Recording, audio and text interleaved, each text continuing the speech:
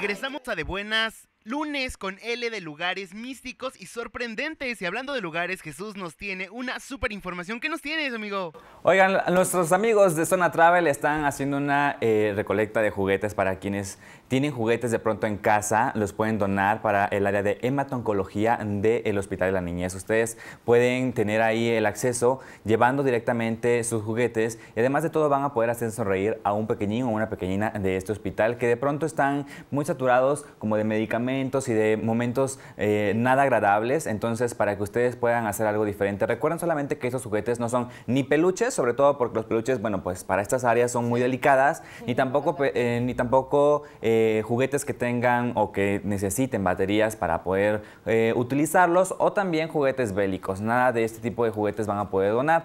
Al contrario, pelotas, carritos, muñecas, aquellos que no necesiten nada de esto, pues van a poder llevarlos a esta área de hematoncología. Pueden comunicarse con ellos al teléfono 951-157-8180 y al 951-507-5386 para que ustedes ayuden a hacer sonreír a los niños de este hospital. ¿Cómo ven, chicas? que pueden, es importante que vayan los padres de familia con los niños, ¿no? Que les den este valor de, de dar. Desde chiquitos. Porque aparte pueden llevar este juguetes usados, ¿no? Que estén, claro, en buen estado. En buen estado. O nuevos. Y es que con algo tan pequeño los niños cambian totalmente. Y sobre todo eh, estos niños que están dentro del hospital, que tienen que atravesar sobre todo muchas cirugías o muchas terapias, pues es llevarles un juguete, les alegra totalmente la vida, así que hay que apoyar a Zona Travel, esta iniciativa que ellos están tomando, pues de llevar juguetes a estos niños. Pues claro, y tratar de, lavarlos, si están un poquito sucios, desinfectarlos en casa para no causar em, que alguna bacteria entre en el área donde están los niños, porque algunos están en áreas muy delicadas y sobre todo pues para cuidar todavía su salud. También un saludo yo creo que para todos los doctores, ¿no? Sí, que están, ahí al pie del cañón. y las familias que también están eh, siempre al pie del cañón con estos pacientes que de pronto están en el área de hematoncología y en todo el hospital, no nada más en este espacio. Esperemos que pronto, bueno, pues encuentren el alivio y además de todo que estos juguetes no nada más despierten la creatividad, sino también alivien a cada uno de los pacientes a los que se les va a entregar. ¿Nos van a invitar a entregarlos, amiga? Estaría increíble que nos pudieran acompañar, la verdad. es, creo, una labor altruista muy padre que, que ayuda a los niños a que se sientan bien y sobre todo nos hace ser partícipe de algo a nosotros como personas también, de poder ayudar con un granito de arena, porque hay tantas cosas negativas, eh, tanto en la enfermedad como en la vibra que se tiene con la familia, son momentos de tensión, son momentos muy difíciles y si nosotros podemos aportar algo como seres humanos, pues estaría muy bien que lo hicieran allá en casa. Digo, nosotros con mucho gusto igual estaremos participando en esta actividad. Bueno, pues ahí está. Además tenemos especiales para el Día del Niño, ¿eh? así que váyanse preparando en casa. también ustedes mentalmente váyanse preparando.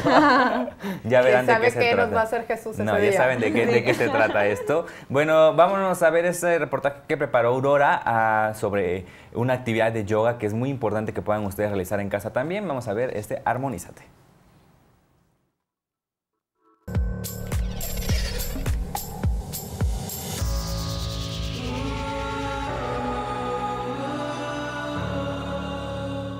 Ya estamos en Armonízate y muchas veces nosotros eh, nos estresamos y empezamos a sentir dolor por mucho trabajo, porque quizá en la casa tenemos muchos quehaceres o si eres estudiante pues también tienes mucha tarea, te estresas y empieza a haber zonas en el cuerpo que se empiezan a poner duras, ¿no? Y entonces nos, empiezan a doler un poquito y por eso esta clase va a ser especial. Bueno, pues vamos a comenzar con este ejercicio de respiración. Este ejercicio se llama, se llama Nadi Shodhana.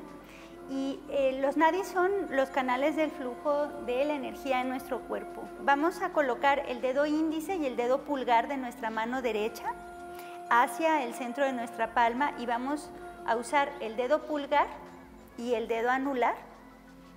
El dedo pulgar para tapar una fosa y el dedo anular para tapar la otra. Vamos a cerrar nuestros ojos. Observamos primero nuestra respiración natural. Tomamos una inhalación profunda. Tapamos fosa nasal derecha, exhalamos fosa izquierda. Inhalamos fosa izquierda. Tapamos izquierda, destapamos derecha, exhalamos. Inhalamos derecha. Cambia la posición de los dedos, exhala izquierda. Y después de tu siguiente exhalación por la fosa nasal derecha, relajas la mano en tu muslo y vuelves a tu ritmo natural de respiración por ambas fosas nasales. Bueno, pues ahora vamos a hacer algunos ejercicios que nos sirven para liberar toda esta parte de la espalda. Llevar los brazos hacia atrás del cuerpo y vamos a tomar los codos.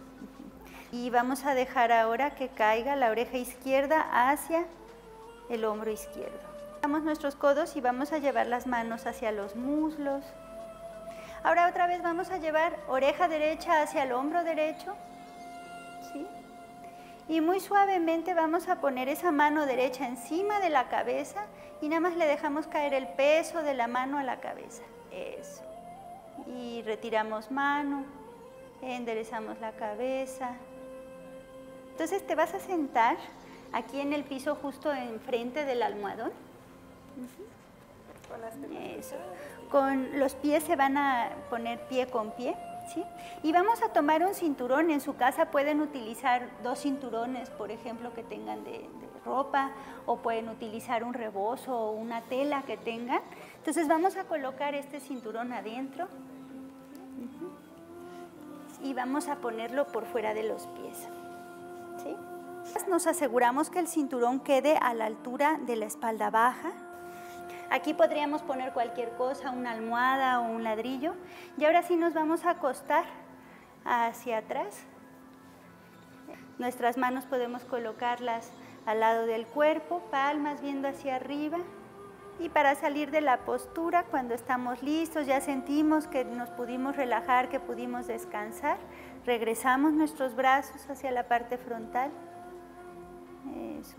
Colocamos las manos en el piso, y vamos a utilizar la fuerza de, la, de los brazos para levantar el torso. Eso, levantamos los brazos, ahí estamos.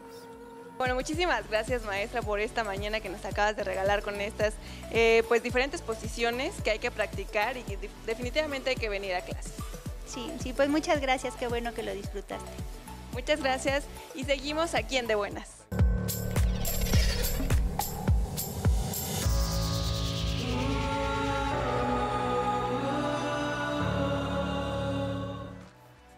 Oigan chicos, esas actividades que me puso la maestra, de verdad háganlo, relaja muchísimo. Les comentaba hace rato mientras veíamos el reportaje que esta posición donde te pones en la parte de atrás de tu espalda una almohadita y te acuestas, lo he hecho, eh, eh, me declaro que lo, que lo hago, sobre todo. sí, soy fan porque sí te relaja, porque acomoda mi espalda y sin duda, pues a la mañana siguiente ya amanezco sin ese dolorcito de repente que tengo en la espalda. Así que practiquen, es yoga de alineamiento y restaurativa. Y ustedes que también han tenido por ahí algunos problemas, ¿no? Sí, no, ayuda muchísimo poder estirar las articulaciones desde los pequeñitos, también a que tengan más flexibilidad y sobre todo tener buena postura al, momento de dormir, porque a veces usamos almohadas muy grandes en la cabeza o muy pequeñas que no son el tamaño adecuado para que la espalda tenga, tenga la posición correcta en el colchón. Y sí es cierto, la verdad que los ejercicios ayudan muchísimo y mejoran la estabilidad del cuerpo y de la columna vertebral. Justamente lo comentábamos mientras pasaba este reportaje, porque, bueno, ustedes no están para saberlo, pero Mariana y yo tuvimos una lesión hace un par de meses. Coincidimos y de hecho no hicimos proyectos en televisión justamente por esa lesión que teníamos.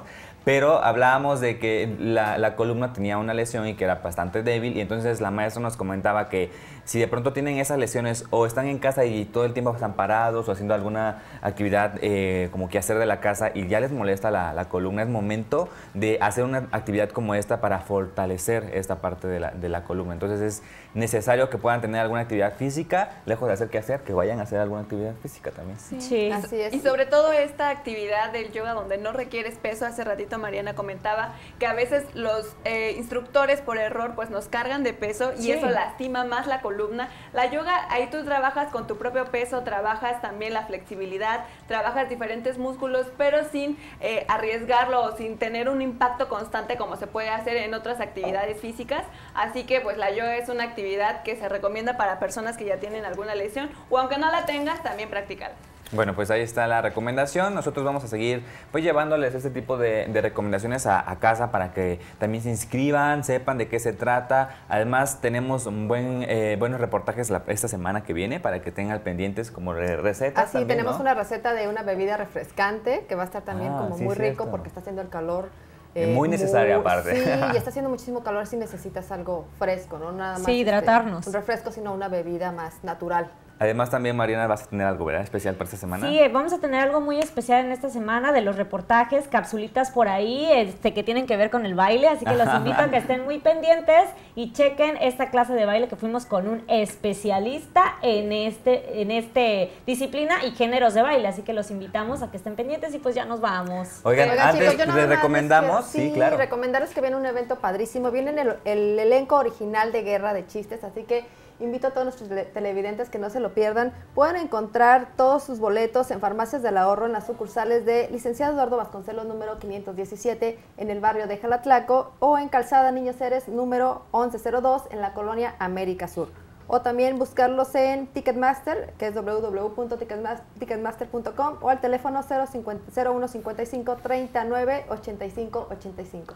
Ahí pueden encontrar estos boletos para que no se pierdan este gran evento. Este evento, por supuesto, está la invitación, señoras y señores. Eso ha terminado el día de hoy. Listo, hoy acabamos. tenemos mañana. Nos vamos. tenemos más para mañana, no se despeguen de las transmisiones que tiene MBM Televisión para que sepan más de la programación. La mejor vibra en esta semana, que tengan un buen inicio, siempre sonriendo, pese a todas las consecuencias. con toda la Lo mejor. Y mañana con más información, más reportaje, los esperamos aquí en su programa de Buenas. Hasta mañana.